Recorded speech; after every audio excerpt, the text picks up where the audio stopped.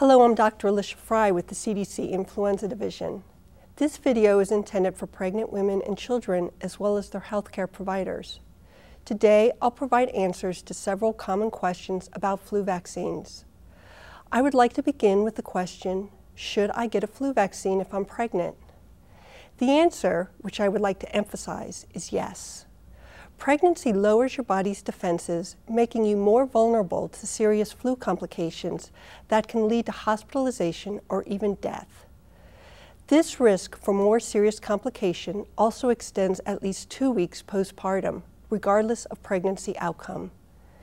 Getting a flu shot protects pregnant women from getting the flu, and it protects their babies too.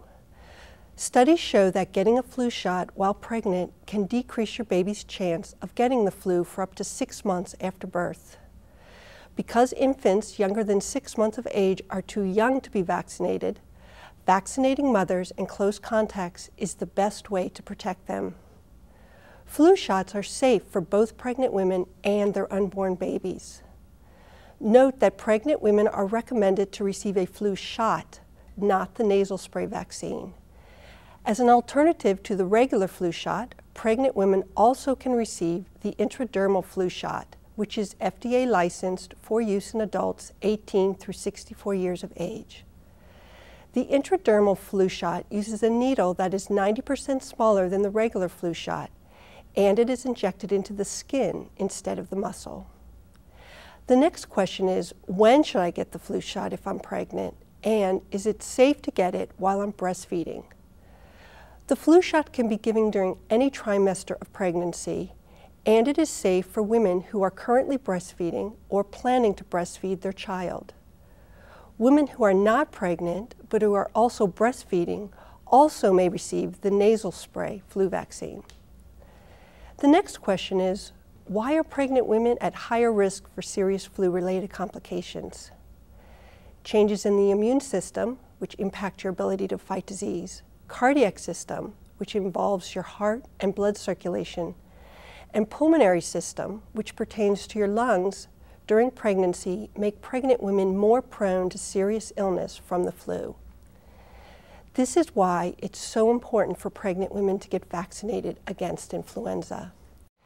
The next few questions involve the flu vaccine for children. We'll start with the question, why should my child get a flu vaccine? Flu is a serious disease, and this remains true for children of all ages. Every year in the United States, even healthy children are hospitalized or die from flu complications. In the United States, each year, an average of 20,000 children younger than five years old are hospitalized because of flu complications. Children younger than five years old, and especially those younger than age two, are at higher risk of serious flu complications, including hospitalization and death, compared to older children. This risk of serious illness is highest among children younger than six months of age. CDC recommends vaccination for all children six months through 18 years of age. Vaccination is especially important for protecting children with asthma, diabetes type 1 and 2, and other long-term health conditions because they are at increased risk for serious complications from flu. Children with long-term medical conditions like these are more likely to be hospitalized with flu-related complications than children who are otherwise healthy. If you live with or care for a child at high risk for serious complications from flu, both you and your child should get vaccinated. Be sure to let the doctor know if your child has an allergy to eggs or any health conditions like asthma, heart or lung conditions, neurologic conditions, or other medical problems. The next question is, what if my child is too young for a flu vaccine? Infants younger than six months old are too young to be vaccinated, but you can protect them by getting yourself, other children, and family members in the household and other close contacts vaccinated. This will help prevent spreading the virus to infants.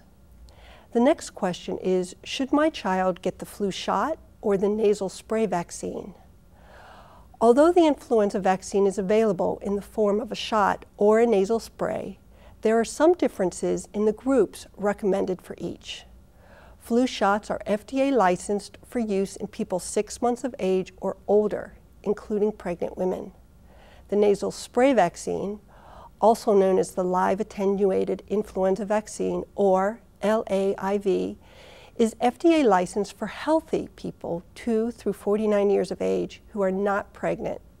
The term healthy is used to indicate that this vaccine is not recommended for use in people with asthma, heart disease, diabetes, or other long-term medical conditions. If your child is healthy and two years of age or older, they can get either a flu shot or the nasal spray vaccine.